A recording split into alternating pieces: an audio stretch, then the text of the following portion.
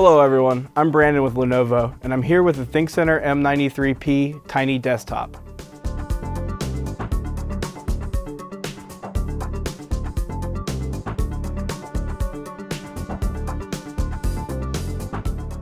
Today we're going to be replacing the internal speaker.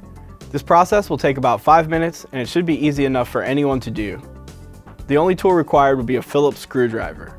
Before we continue, we need to make sure that we're protected against electrostatic discharge or ESD. Make sure to shut down your computer and disconnect all cables and accessories from the system. For more information, watch our Understanding Electrostatic Discharge video by clicking the link in the description.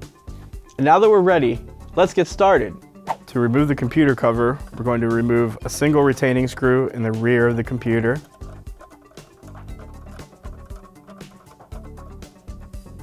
Then you slide the front cover forward and lift it from the system. To disconnect the storage drive cable, you just pull it from the back of the storage drive and then disconnect the SATA cable from the system board.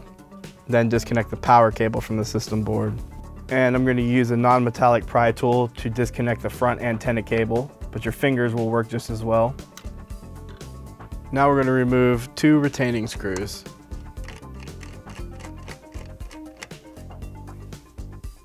And the second one. To remove the drive assembly, you're going to slide it away from the edge of the system and lift it off of the post. So to remove the internal speaker, you want to first disconnect the speaker cable from the system board and then remove it from the guide. Then you want to pull back the clip and remove the speaker from the chassis. Here we have the replacement internal speaker. To replace the internal speaker, you want to line it up with the clip and press down until the clip snaps into place. Then you connect the speaker cable to the system board.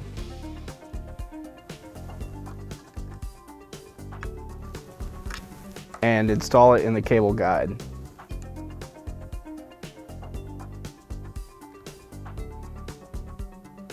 To replace the drive assembly, we're going to align the assembly with these two posts on the system board.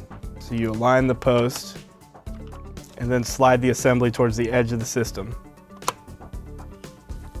We're going to replace two retaining screws. Screw one and screw two. Now I'm going to reconnect the front antenna cable. I'm using a non-metallic pry tool, but your fingers will work just as well for this. It just kind of snaps on like a button.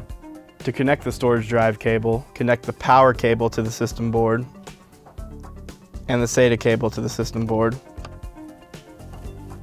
And then connect the cable to the back of the storage drive. So to replace the computer cover, you just kind of lay it down here on top of the system and then you push it towards the rear of the system until it locks into place. And then you replace this single retaining screw in the rear of the system.